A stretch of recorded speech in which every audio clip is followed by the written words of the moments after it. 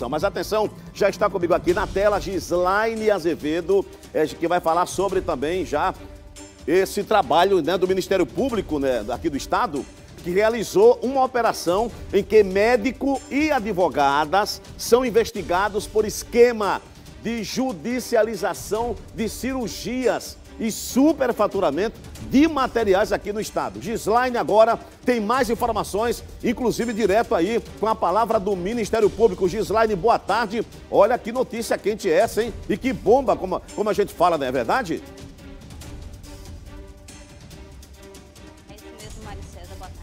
Boa tarde a todos que acompanham Patrulha da Cidade. Nesse momento eu falo aqui da sede da Procuradoria-Geral de Justiça do Rio Grande do Norte, onde aconteceu uma coletiva de imprensa aqui em que o Ministério Público detalhou aí é, sobre essa operação que foi deflagrada nesta quarta-feira. E como você disse, é, há um médico, advogadas e também é, sócios de uma empresa que são alvos aí dessa operação que investigam um esquema fraudulento, um esquema de cartel, né, é, quanto à realização de cirurgia cirurgias, superfaturamento nos materiais conhecidos como OPME, órtese, prótese e materiais especiais. Quem vai explicar melhor para a gente sobre essa operação é o promotor de justiça Mariano Paganini, que está aqui nesse momento. Boa tarde, promotor. Essa é uma operação que iniciou aí a investigação desde 2019, né? O que, que vocês conseguiram apurar aí para deflagrar essa operação nesta quarta-feira? Boa tarde. Olá, boa tarde.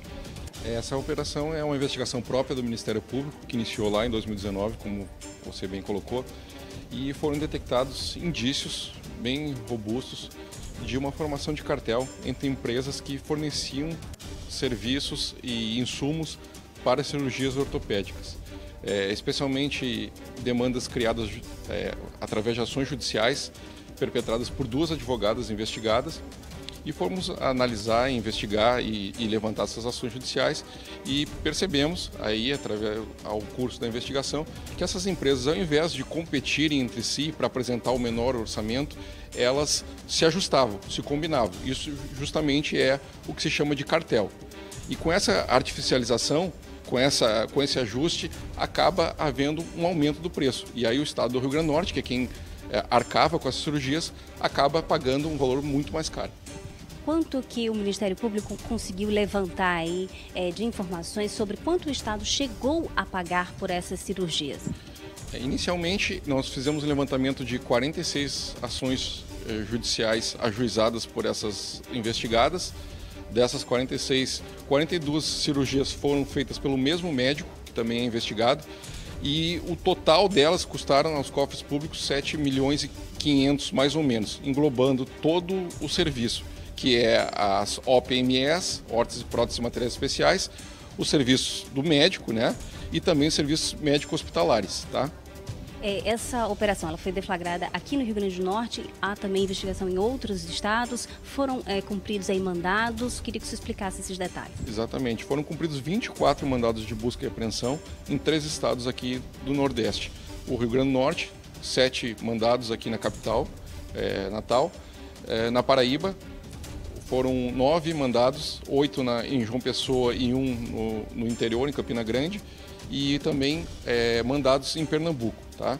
tanto de pessoas jurídicas que fazem esse ajuste, que estão sendo investigados por isso, como de pessoas físicas, ou que são proprietários dessas empresas, ou advogados, ou médicos. Então, é, tanto pessoas jurídicas quanto pessoas físicas foram alvo desses mandados de busca e apreensão, que inclusive estão com as diligências em curso, né?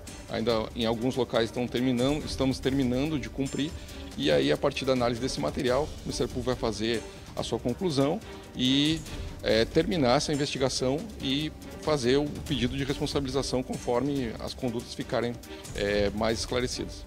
O Ministério Público conseguiu identificar se algum desses pacientes chegou a obter aí alguma vantagem indevida ou se eles realmente precisavam dessas, dessas cirurgias? Não, não há indícios disso. Não há indícios de que os pacientes tivessem se locupletado de alguma forma. Há indícios que os pacientes estão de boa fé, que eram pessoas que realmente precisavam dessas cirurgias, que tinham essa condição, é, especialmente escoliose, e elas eram de certa forma contactadas ou procuradas pelas advogadas e muitas vezes havia até inclusive reuniões é, na própria clínica desse médico que fazia é, essas cirurgias. É, promotor, eu queria que o senhor falasse também sobre é, os valores, né? É, esses, esses alvos, eles tiveram algum valor bloqueado?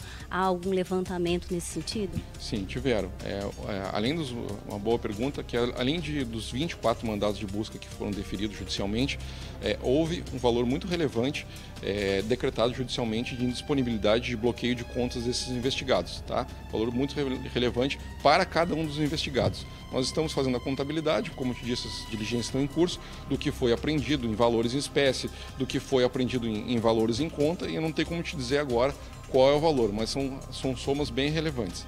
Promotor, nosso apresentador Mário César quer fazer uma pergunta aqui direto do estúdio. Como o senhor não está com retorno, eu vou repassar essa pergunta para ele. Pode fazer, Mário César. Ok, Gislaine, um abraço, parabéns aí pela entrevista aí. Promotor, é o seguinte, é, foram 42 cirurgias feitas somente né, por um médico.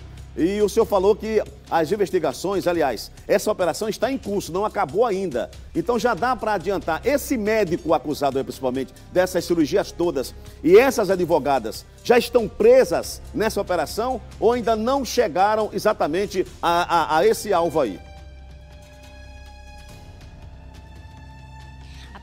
Mário César, promotor, é o seguinte: o senhor falou né, sobre esses alvos, que são um médico, duas advogadas. Ele quer saber se já há um mandado de prisão, é, como é que está essa questão em relação a esses alvos. Certo. Boa tarde, Mário César. Com relação aos alvos, a gente não pode divulgar os nomes, porque ainda a investigação, a grande maioria, está sob sigilo, tá?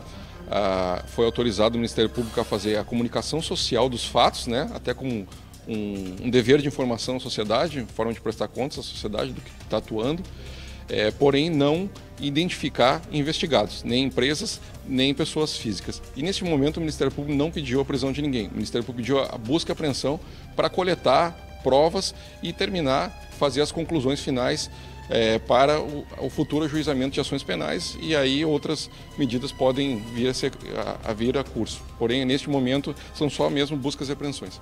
Para a gente finalizar, promotor, essa é uma operação é, com a participação, a pedido do Ministério Público, mas tem a participação aí também do CAD e outros ministérios, ministérios públicos também. Exatamente, é importante ressaltar, é uma, uma operação do Ministério Público do Estado do Rio Grande do Norte, por intermédio do GAECO e também da Promotoria de Defesa do Consumidor, em colaboração, atuação conjunta com o CAD, que inclusive encaminhou equipes de Brasília para nos ajudar tanto na análise desse caso quanto na, na deflagração operacional e também contamos com o apoio sempre valioso da Polícia Militar do Estado do Rio Grande do Norte e dos outros ministérios públicos onde tivemos é, mandados a serem cumpridos, que é o Ministério Público da Paraíba e do Pernambuco através de seus respectivos GAECOS.